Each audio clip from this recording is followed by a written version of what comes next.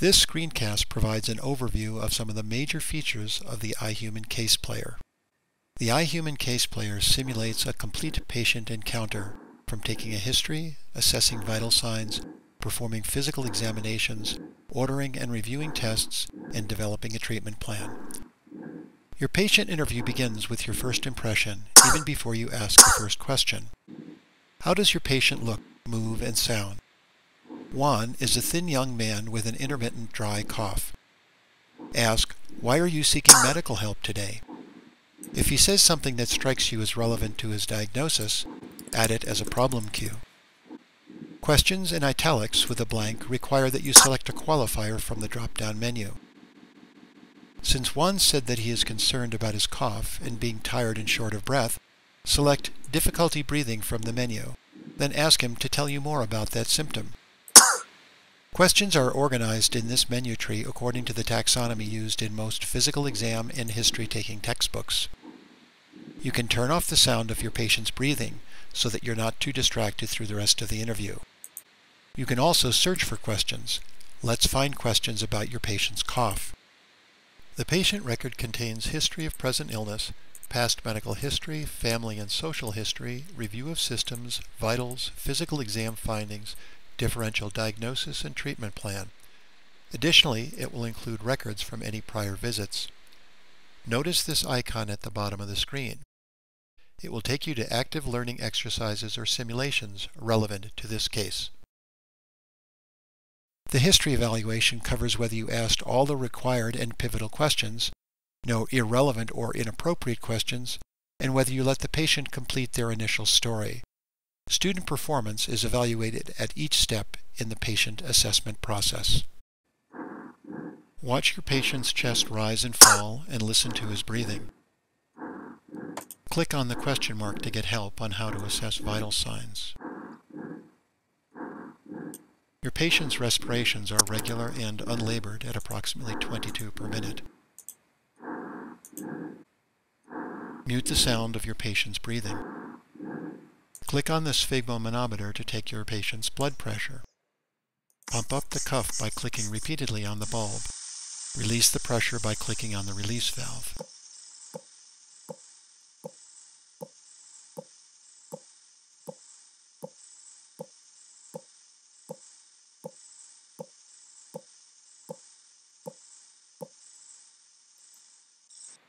Your patient's blood pressure is approximately 98 over 60.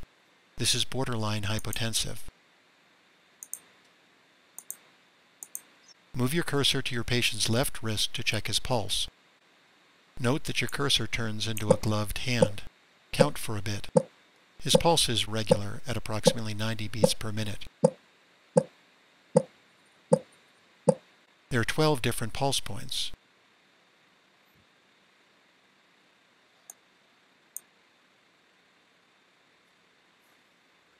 Document the pulse rate and regularity.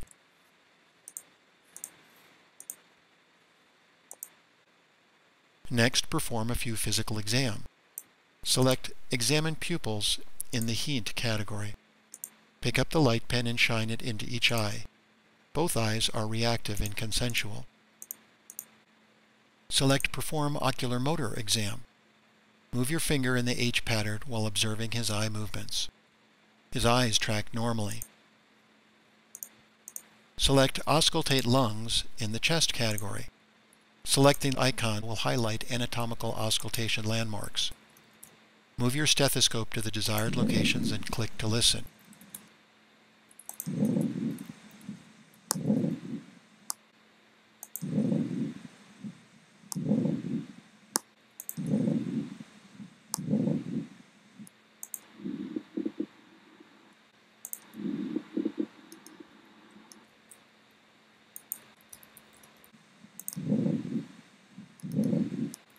Your patient has fine crackles in the bases of both lungs. Note this as a problem cue. Document the selected findings in the physical exam section of the patient record.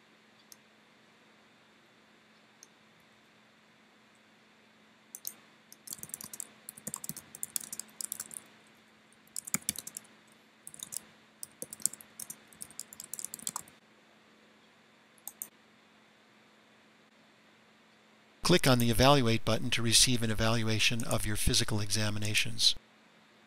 The evaluation notes whether all and only required exams were performed, whether they were correctly performed, characterized, and documented.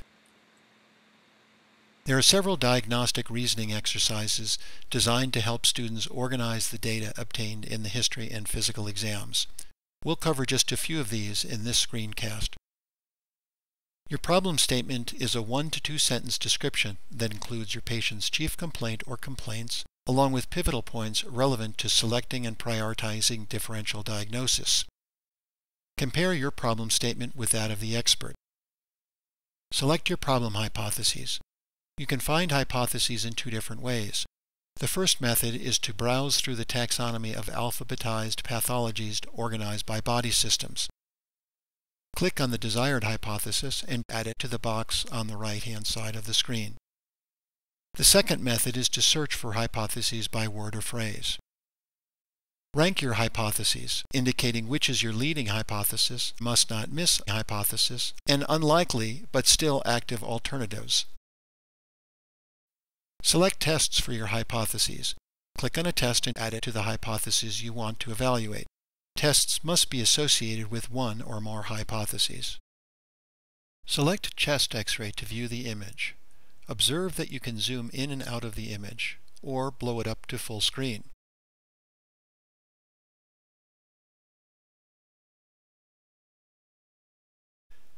Select CBC to view the lab report.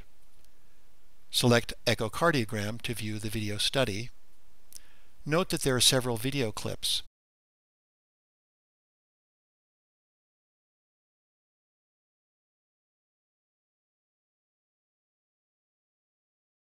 Select the definitive diagnosis from your initial list of hypotheses and click Evaluate to check your answer. Then proceed to development of your treatment plan. Your treatment plan is free-form text. Compare it to that of the expert. Select Summary to view the case summary and the report on your overall performance.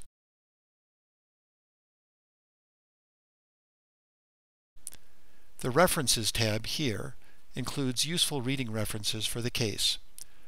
References in bold letters include web links.